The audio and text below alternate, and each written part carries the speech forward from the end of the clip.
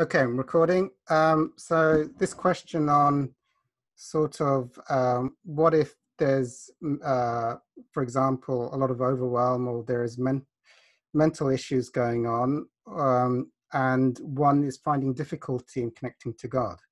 What if there's extreme overwhelm or there's um, you know, uh, severe mental problems and hormonal problems going on, and the capacity to connect to God seems to be extremely disrupted. That's actually a very interesting question. So, what would I do if I felt that you know I was overwhelmed with hormones or midlife crisis, and my capacity to connect to God seems to be like I can't just connect to God. I'm just too much in the thick of all these disturbing thoughts and overwhelming feelings. So I actually the, the way I would do that, and there are times when I've been extremely uh, disconnected, and I, you know, and the, and it almost feels like it's too difficult to pray, to do things, and and actually what I do do then, so but I'll, I'll say quite a few things on the topic. What I would do. Now, some of these things you may not be able to do because you're just so disrupted and feeling so disconnected that it's almost like you don't have the capacity to pray or to do things it seems that that even seems too overwhelming and too difficult because of the disturbing thoughts and overwhelming feelings. So I do understand, but the main thing I do in extreme disruption and overwhelm is I know that I'm disconnected and I'm going to find it very difficult on my own to try and connect to, to God. So what I need to do then is to um, align myself, soak myself in high vibration environments, people, books, situations, music, uh, and attractor fields so that I can leverage these high energy fields to slowly grab me up because I can't do anything. I, am just too disrupted to pray.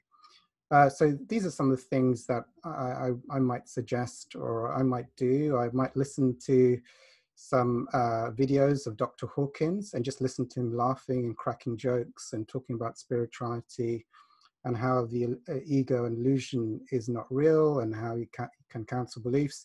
Just watching that, I start to tune into his vibration and his messages.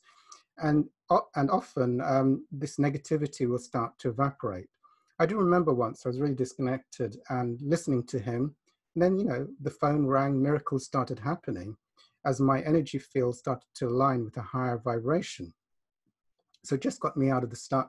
You could listen to high vibration music, you know, things like Pachelbel's Canon or Kyrie or something of a high vibration. That will slowly start to tune you in, read high vibration books, maybe something like, uh, you know, Letting Go, uh, or you could listen to that on Audible or um, music, uh, any groups you can attend. I know it's the COVID situation, so you, maybe not physical meetings so much, you know, like 12-step um, groups, of Course in Miracle groups or Hawkins groups, but uh, Zoom groups, the, there's Course in Miracle groups, Hawkins groups, 12-step groups to align on and just tune into that vibration.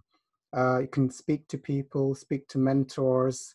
Um, another thing you could do that it might be too disruptive to do is um, uh, uh, one of the things I used to do a long time ago, I don't do it any longer because I don't feel I need to do it, is I used to make um, either you can make prayers and record them and have them play back to you. Like, I cancel my belief in overwhelm, hormones, and despair. I'm an infinite being, or God did not create hormonal despair or, or mental incapacity, so it's not real. And put that on a loop on a recorder, and that will start to shift things for you as you hear that belief you know that message trying to cancel through all those beliefs which are disrupting you like oh i believe i'm too mentally incapacitated to get out of this or i'm too overwhelmed to do anything. So just if you put it on loop and listen to it it will start to clear it because that's a high vibration you know t- um, giving you the message that you can let it go. It's not real. If, or that you're disconnected from god and can't connect to god that is not real as well. So you can do those things um, and so that's what I do. I mean, if I mean the usual things, if you when and if you're able to do them, is to pray, to cancel, to hand it over, to sit with the feelings, to let it be. Uh, try not to resist. Try to allow, to let it be. Um, don't don't try and, and say you don't want this this these mental thoughts and feelings to be here. Just try and be with it. Let it be there. Face it, and in that it will shift faster than than wishing it wasn't here and and not wanting it to be here.